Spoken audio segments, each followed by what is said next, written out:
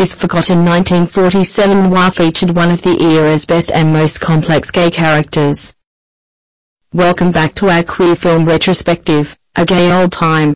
In this week's column, we're revisiting the 1947 noir repeat performance, which features what the Criterion Channel calls one of the era's most sensitive depictions of a queer character. Unless something extraordinarily good happens, like winning an Academy Award, finding the love of your life, or suddenly coming into millions of dollars, there are probably few people who wouldn't. The power that a what if holds over a person's life is too big not to be taken seriously, and that is why it's always been such a rich narrative device. This week, we'll take a look at a little scene movie from the first half century of Hollywood, the 1947 supernatural thriller melodrama repeat performance, in which an actress gets the chance to relive the last year of her life, which ended in great tragedy. However, she soon realizes that no matter how much she wants to change things, some events will still happen the same way, and she may well end up in the very place she wanted to avoid.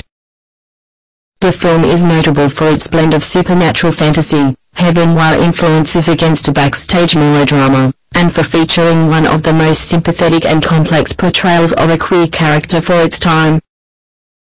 The setup Repeat performance follows Sheila Page, Joan Leslie a famous stage actress who shoots and kills her husband on New Year's Eve as she seeks refuge and advice from her good friend William Williams, Richard Basehart, in his film debut, who has just returned from a stay in an asylum. She makes a wish with him.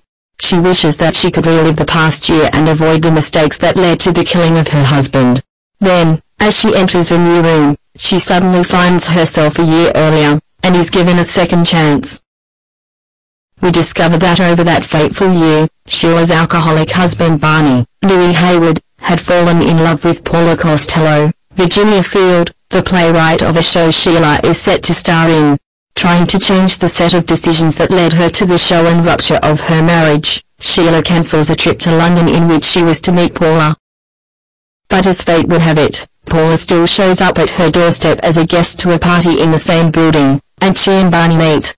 Sheila ends up doing the show anyway when her producer, Tom Conway, attaches her without her consent and without knowing the name of the writer. And the affair between Paula and Barney takes place regardless. A friend in need. She returns to William, the only other person who she has told about her wish and the new chance at living the year again. They realize that even though things seem to be playing out the same way, some of the details and smaller events have been changing, and believe that she still could still hold the altar to change the final outcome.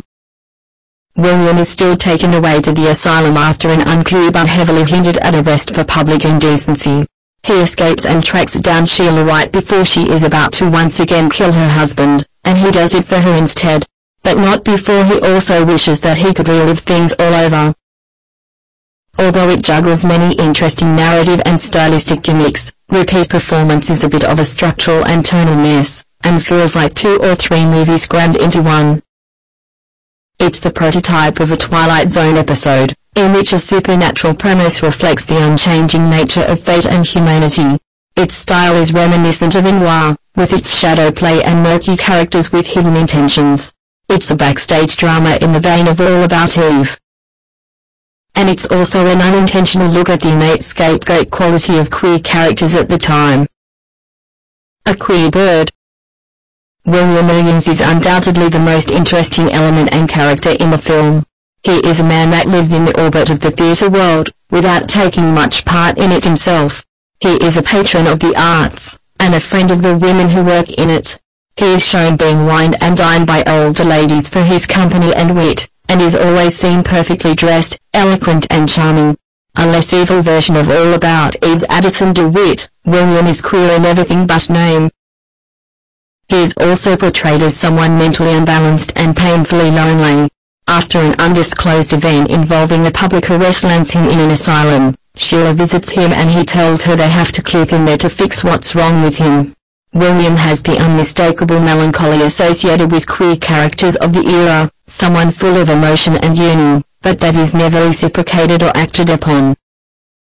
The tragic hero, Repeat performance portrays his tragedy with unexpected nuance and thematic relevance to the story. By giving him the chance to start over, his fate is not totally desperate. William sacrifices himself for the protagonist of the movie, but there is still a slim chance that he might find happiness.